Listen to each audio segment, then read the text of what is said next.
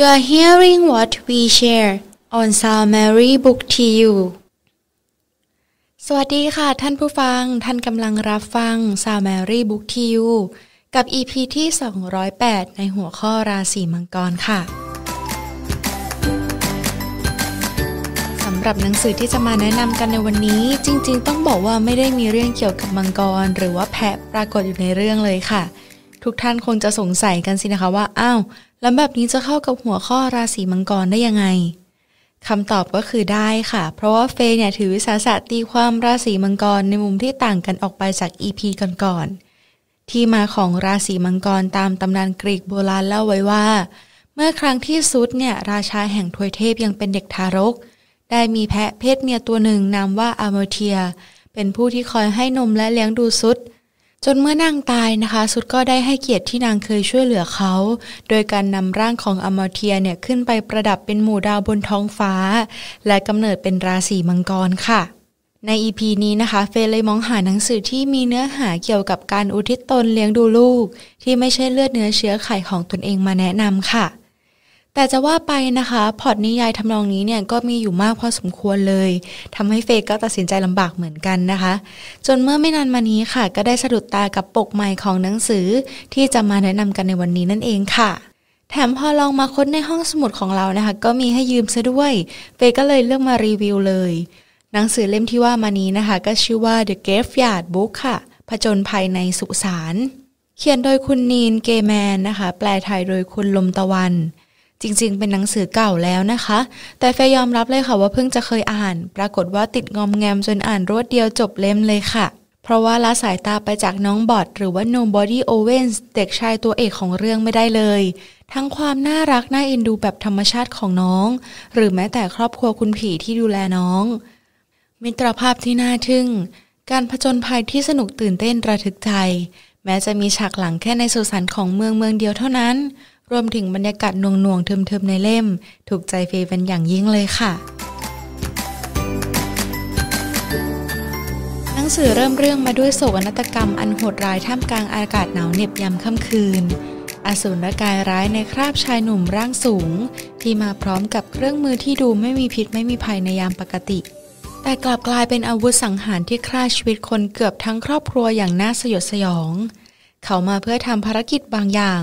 และเหลืออีกแค่ชีวิตเดียวที่จะต้องจัดการในคืนนี้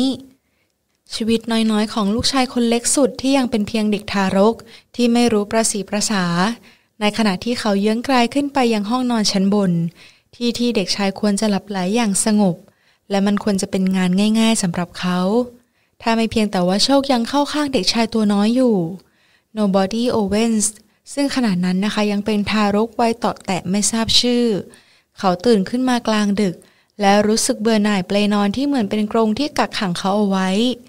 เด็กชายปีนออกจากเปลอย่างมุ่งมั่นและเงียบเชียบทำให้เขารอดพ้นจากเงื้อมมือของอสุรกายไปได้แบบบุดวิดค่ะ ในตอนนั้นเองนะคะที่เด็กชายคลันมาจนถึงสุสาน โดยมีฆาตกรเนี่ยตามหลังมาติดๆท่ามกลางบรรยากาศของความเป็นความตาย วิญญาณของสองสามีภรรยาตระกูลโอเวนส์เฝ้ามองเหตุการณ์ทุกอย่าง และรู้เพียงอย่างเดียวว่าพวกเขาต้องช่วยเหลือเด็กทารกคนนี้เอาไว้ให้ได้เหล่าวิญญาณสามีภรรยาลงมือพาตัวเอกน้อยไปซ่อนจากสายตาของฆาตกรหนุ่ม และแอบเลี้ยงเขาไว้เปรียบเสมือนกับลูกของตนเอง และตั้งชื่อให้เขาว่า Nobody Owens หรือเรียกง่าย ๆนะคะว่าบอทสายใยและความผูกพันที่เกิดขึ้นภายในสุสานเติบโตไปพร้อมๆกับบอท เป็นเวลากว่า 13 ปี ที่เขาอาศัยอยู่ในสุสานโดยที่ไม่ได้รับอนุญาตให้ออกไปข้างนอกเลยแม้แต่ครั้งเดียวจะมีก็แต่พ่อแม่บุญธรรมตระกูลโอเวนส์และไซรัสที่เปรียบเสมือนคลังความรู้ที่สุดในสุสานที่เป็นฝ่ายสอนสั่ง ดูแลและอยู่เป็นเพื่อน เขาเรียนรู้ภาษาแบบงูงูปลาปลาจากป้ายชื่อหลุมศพ และไม่รู้เรื่องอะไรอีกเลย จนกระทั่งการมาเยือนของเด็กสาวชื่อว่าสกาเลตและคุณครูลูเปสครูผู้ลึกลับ ทำให้บอดรู้ว่าที่ผ่านมา